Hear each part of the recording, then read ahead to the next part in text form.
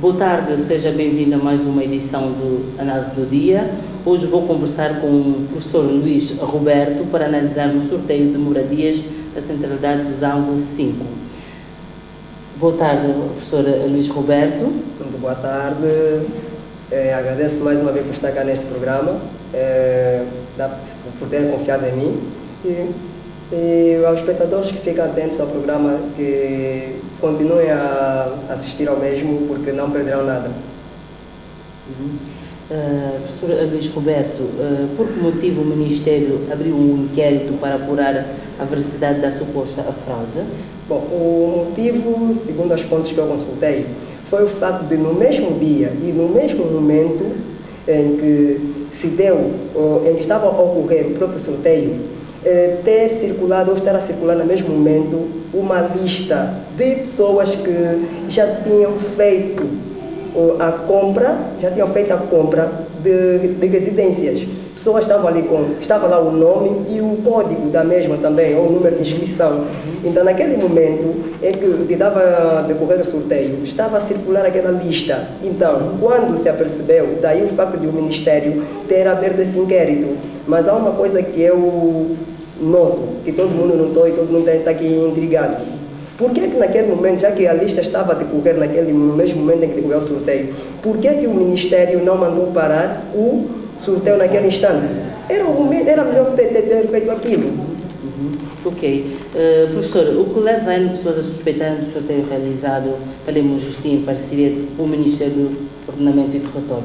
Bom, o primeiro motivo é a circulação desta mesma lista que estava a passar pelas redes sociais. Todo mundo tem acesso às redes sociais, todo mundo é, acede à mesma, pode ser, pelo, do, pode ser pelo zero ou então a partir do seu telefone no computador e depois também pela maneira como estava a decorrer o sorteio, a partir do computador.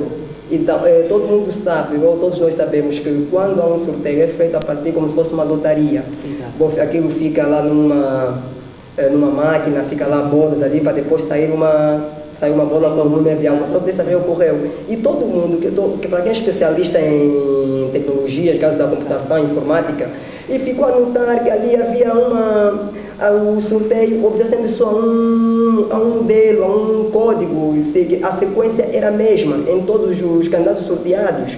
Aquilo gerou muita polêmica, as pessoas partilharam vídeos a mostrar e a explicar aquilo, e as pessoas ficaram revoltadas com aquilo que via. Então, a partir em conta a reclamação, da maneira que correu o sorteio e também o próprio, a própria lista que estava a circular, aquilo gerou mais polêmica, aquilo levantou suspeitas, porque é mesmo muito, é, houve muitos candidatos e agora está aí, está aí faltou, não falta de transparência, transparência quanto a isto. Uhum. Professora, uh, há alguma possibilidade de que a Magistim e o Ministério do Ordenamento e Território estejam envolvidos numa suposta fraude uh, de moradias na centralidade de 5? Bom, essa suspeita uhum. todo mundo levanta, porque são eles os envolvidos neste sorteio, neste processo, desde a fase da inscrição até a realização do próprio sorteio. E aí está, tendo em conta outro histórico também que a, Imogestim, também já tem em relação a esse tipo de situações. E aí está, ah, segundo fontes que eu consultei, segundo fontes consultadas, a Imogestim nega todo e qualquer envolvimento. E o próprio Ministério de Ordenamento do Território e Habitação, eh, na voz de sua, da sua ministra Ana Paula de Carvalho, eh, eles dizem que caso seja comprovado esse, essa fraude, eles vão suspender. Caso, caso a mesma seja comprovada, vão suspender e aqueles que estão envolvidos hão de responder juridicamente. É onde está, então eu digo que praticamente eu noto que aí houve uma violação. Violação de quê? Não houve transparência e violou-se aquele que é o direito administrativo que prevê a prossecução do interesse público porque aquilo era um, é algo aberto pelo Estado e não deve estar, não, não, não deve estar só delineado para um grupo, deve ser para todos, é para o público e não para alguns, para parceiros. Ok. Está bem. Professora Luís Roberto, muito obrigada. Vamos para um breve intervalo e não saia daí. Grupo Massampo Multimédia, em parceria com a TV Belas, leciona os seguintes cursos: apresentador de televisão e reportagem, curso de operador de câmara, drone, edição de vídeo, inscrições abertas, no valor de 20 mil kwanzas. Estamos localizados no Morro Bento, junto à Metropolitana. TV Belas, feito com amor para sua casa. Estamos de volta à segunda parte do análise do dia. Para quem nos assiste agora, nós temos como tema o sorteio de moradias dos ângulos 5 sob a investigação da SICA.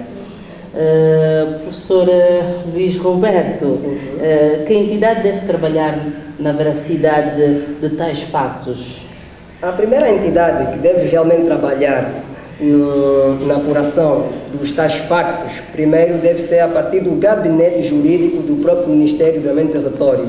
E ele mesmo, a partir de, daquilo que ele vai, for apurando, ir trabalhando com o SIC, e com a própria PGR, porque são esses órgãos que se mostrarão imparciais para fazerem esta investigação, apurar a partir da lixa, daquilo que eles têm, também a partir das denúncias, chamarem técnicos, técnicos que dominem também a parte da informática e verem aquilo que ocorreu durante o sorteio, porque o sorteio que todo mundo esperou que se realizasse no, no mesmo evento, não foi aquele. Nós esperamos que fosse um, um sorteio tradicional, aquele que é habitual, que nós vemos no, nos sorteios, por exemplo, da, do, das lotarias. Nosso tradicional sim, sorteio, tradicional, é? sim, aquele normal nas, nas, nas lotarias, como nós vemos aqui no Totoloto, no Totobola. Então, isso aqui é, é que não ocorreu. Foi a primeira vez, não sei se vão querer, se houve algo do gênero, que eu, que eu assisti a um sorteio desse gênero. Se houve algum, esclareçam-me, mas sinceramente foi a primeira vez. Isso aqui, é, como disse anteriormente, a Imogeste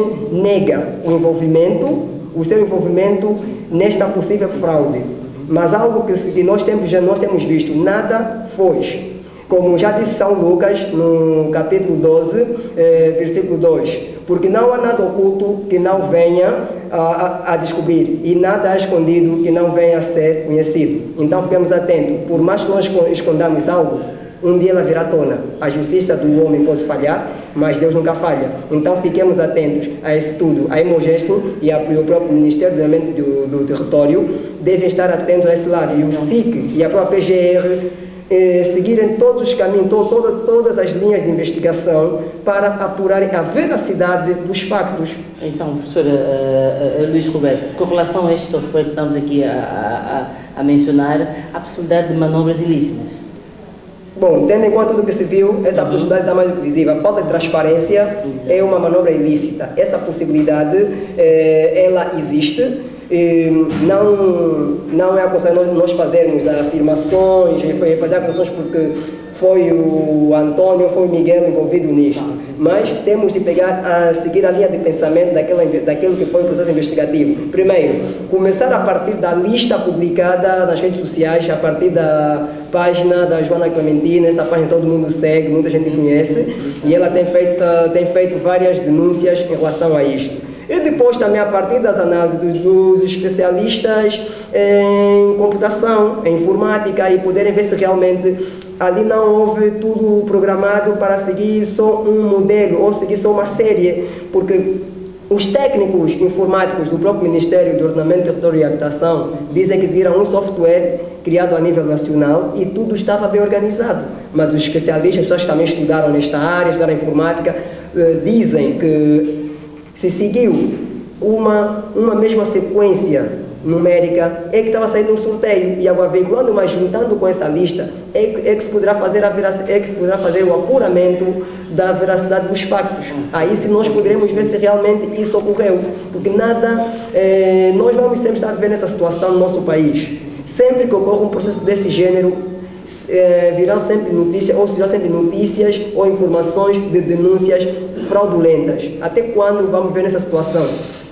Uh, professor uh, Luís Roberto, uh, no caso houver na realidade esta fraude, o que a e o Ministério do Ordenamento e Território devem fazer? Primeiro passo, caso mesmo haja uma fraude, caso haja mesmo algo ilícito que te, tenha ocorrido, primeiro passo, suspender o sorteio, coisa que já deviam ter feito, já deviam ter feito antes Isso já, já devia ter sido feito muito no momento em que estava a decorrer o sorteio, porque a denúncia, como disse anteriormente, já tinha ocorrido, a lista já estava circular, já estava a veicular, já devia ter sido feita a suspensão Então, o professor devia-se cancelar. Cancelar, esse é o primeiro passo, cancelar o sorteio. E segundo, eh, indiciar os, os envolvidos nessa fraude. Porque nós não podemos andar ver nessa questão do toma lá da cá. Até quando vamos ver esse, esse processo cá no nosso país, como disse anteriormente? Estou sempre o processo do toma da cá. O Antônio quer algo, vai, vai ter com o Miguel, o Miguel vai dizer para isso tens de me dar isso e aquilo. Não pode. Temos já como se diz no provérbio 16, 8, mais vale o pouco com justiça do que, do que grandes com iniquidade. Até quando vamos continuar isso ne- nessa situação? Não pode. Tem de ser tudo com transparência, com justiça e com responsabilidade.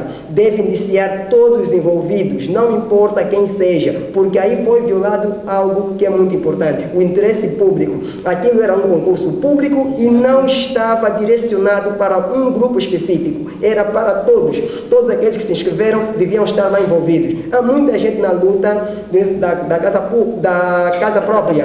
E nós ainda há pouco tempo vimos a denúncia que houve dos mais de 16 ou mais de 20 apartamentos que, ou edifícios que foram capturados naquela do, naquela do Quilamba, do KK. Por quê?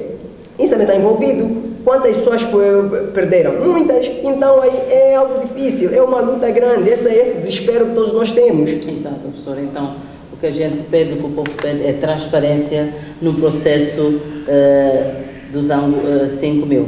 Eh, Sim, é mesmo isso. Transparência Exato. e que haja mesmo justiça, Justiça. e seriedade, honestidade acima de tudo. Muito bem, professor eh, Luís Roberto. Eh, assim foi mais uma edição de Análise do Dia.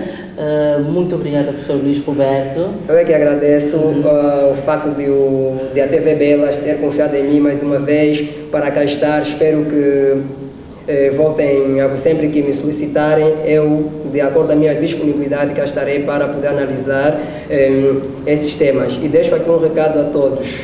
Eh, provérbio, segundo temos estamos no provérbio 16, 19. Mais vale ser modesto com os humildes que repartir o despojo com os, com os soberbos. Então, vamos trabalhar, viver na humildade, aceitarmos aquilo que nós somos e aquilo que nos dão.